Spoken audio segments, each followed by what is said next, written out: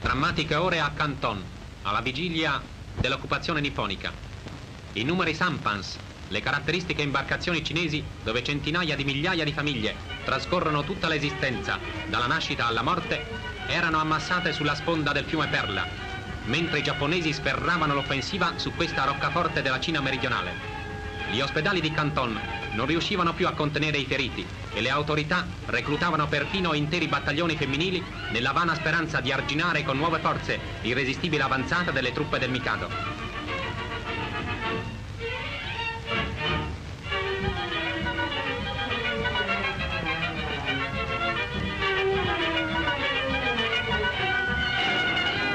L'aviazione nipponica, con intensi bombardamenti aerei, semina il panico, della capitolazione definitiva.